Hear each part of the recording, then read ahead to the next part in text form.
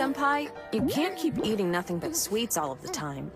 You know, you're gonna end up with a cavity. Oh, don't worry. I always brush my teeth.